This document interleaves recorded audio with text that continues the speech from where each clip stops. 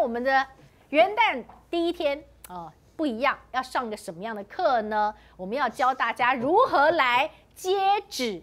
接什么旨呢？接圣旨啊！圣旨到！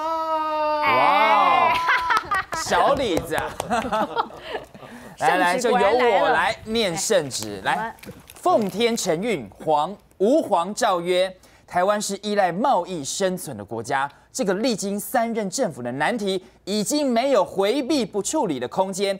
因此，我要用最谦卑的心情，请所有国人同胞体谅，希望大家能够理解我们再三斟酌后的决定。钦此。万岁！万岁！万岁！万岁！千杯再千杯，众卿平身。谢吾皇圣同学表现的真好。可以当宰相。我们也升官，立马升官。政务委员，叶政务委员。太棒了，表现的真好。同学们马上心领神会，都知道该怎么做。对呀，好好的接圣旨，听到了吗？因为哈，我们的这个来看一下，是今天蔡英文总统呢，他特别在元旦的谈话当中告诉我们，刚刚说的这个话，我想不用再赘述了。重点是最谦卑的心情。对，谦卑啊，哎。这个所有的网友们，大家现在在看我们的头条开讲，麻烦大家，你觉得这个谦卑到底应该怎么写呢？是这个谦卑吗？哈，你不认同吧？哈，所以你要不要在这个聊天室里面赶快写？你觉得谦卑到底是哪个谦卑呢？啊，是要那一杯两杯的杯，要达上千杯的谦卑，还是点点点？麻烦大家来发挥一下创意，来，是，再来看一下。我觉得哈，台湾民众应该很想要借酒借酒浇愁哈，喝千杯的酒把自己喝醉了，就不用去想说怎么办。我疫苗到底有没有？为什么人家的疫苗是用几百块的疫苗，台湾的疫苗是用几十块的疫苗？为什么人家不要吃的来猪，台湾要吃？为什么日本发生核灾地区的食品，居然未来台湾也可能要进？我觉得这些焦虑都让大家很想要一醉解千愁哈。那最好的方法就是蔡英文总统教大家的谦卑、谦卑再谦卑。喝了谦卑以后哈，你就什么烦恼都没有。刚刚那个大家在讲“吾皇万岁万万岁”哈，最近那个亚洲周刊的那张照片十分的写实。但是哈，我看到那张照片，我跟大家的感觉不一样哈。我不是看到英女皇哈，英皇，我是看到慈禧太后。我是看到慈禧太后，为什么？因为我觉得蔡英文现在的作为，哈，确实更像老佛爷。为什么？第一个垂帘听政，好像所有事情都不关他的事情啊，都是行政团队要在往前面冲，都有打手在那边讲一些插话啊，他就在后面垂帘听政。但事实上，就是他的魔手在掌握全部。第二个，不只是威权独裁，我觉得他更像慈禧太后是什么呢？上权辱国，开放门户。记得，慈禧太后最让我们这一些后代觉得可耻的地方，并不是在她的独裁，或者是在她的威权掌握这个国政，而是在她上权辱国，签订了许多不公平的条约，把我们的门户洞开，让世界的列强可以来这边倾销他们要卖的东西。嗯，现在不是就跟那个时候一样了吗？哦，民进党一直说，哎呀，我们加入 WTO 啊，哈。不能有贸易壁垒。我上一次有一个是台大教授，他就基于这个立场。虽然他是台大教授，但是我真的很想跟他讲说，教授，你有没有去看过 WTA 的 WTO 的真正精神？就是两个字，叫公平。公平是什么意思？我不卖，我也不让你们卖。OK，公平。公平是我不让美国卖，我也不让其他的国家卖，这叫公平。可是现在这样公平吗？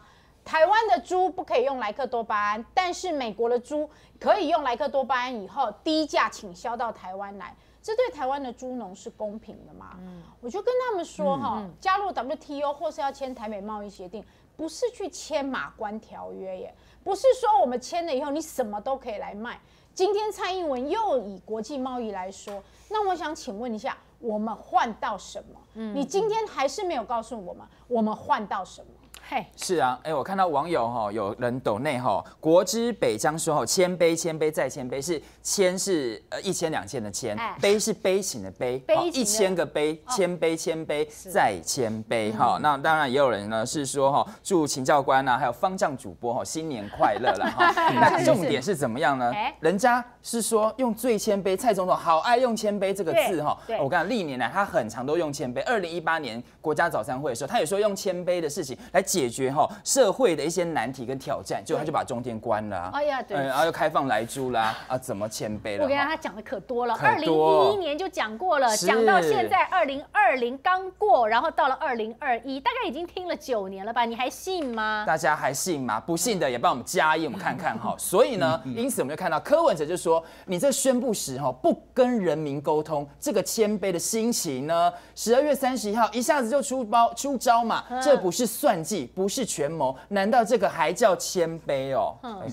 我可以看到啊蔡英文总统，看他元旦的文稿，他对莱猪连一句道歉都没有，就要人家体谅。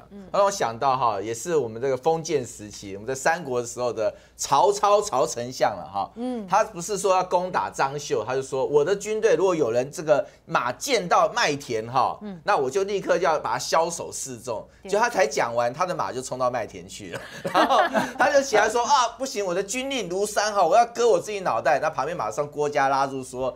这个曹曹丞相不必，呃，你因为你非常的位高望重哈，所以他领袖大军，所以割头发就可以了，所以他割了头发来代替所谓的他的所谓的那个军令哈。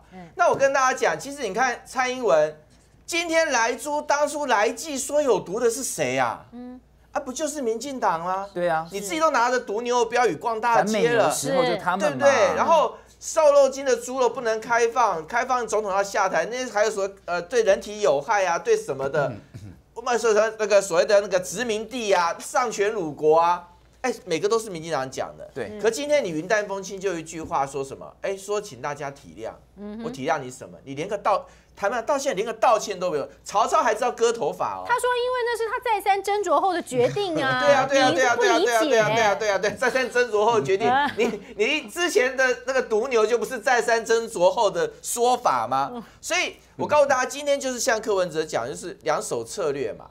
他在当蔡英文讲谦卑的时候，他屠刀就在后面准备等着你了，向来是如此啦。他怎么样？他只要说谦卑的时候，就是要开始去砍苏伟硕脑袋，然后去开始去砍这个罗志强脑袋，开始去砍中天脑袋，砍网友脑袋的时候，所有的谦卑的东西，请问各位。哪一点谦卑？你告诉我，他到底有哪一点谦卑够得上谦卑两个字？整个台湾过去，我们从民主化以来到现在为止，民进党蔡英文的所谓的嚣张、跟跋扈、跟霸道，他是所谓的史上之最的，他已经是超过了陈水扁，知道吗？陈水扁，我跟你讲，他再怎么样凶悍，对不对？他也没关系新闻台，没关 TVBS 啊对不对？所以你也看到说，他也没立什么网管法啊，他也没立所谓的去查那个查水表，也像民进党查成这个样子啊。所以我告诉大家，今天这个元旦的文告，在我看来，我觉得是让人家觉得是非常反胃的文告，就像对人民来讲，那只有一醉解千愁，像淑慧讲的。但是对人民另外一个心情，就是网友说的啊，一千个一千个悲情啊，一个又一个的悲情啊，让我们看到就是二零二零年，民进党才是第二任蔡英文的第二任的第一年，就已经嚣张到这种程度了。然后他的所有的官员可以到处，你像今天又有那个我们的李文忠啊，那出来骂混蛋啊。你一个堂堂的一个所谓的部会首长，你可以到处去骂人家前国家元首混蛋吗？有这种骂法的吗？所以我们可以看到，就还有包括李彦秀，我一定要讲，李彦秀到国外去看看孩子，他孩子发烧，是。为母的那种担心，他去，就民进党还可以拿他的所谓去美国正式拿出来消费，更好是消是消费还被李彦秀岳阳打脸，对呀。对所以我要说，这个谦卑的政府从头到尾他的谦卑就在说说反话了，他说的谦卑就是嚣张跟跋扈。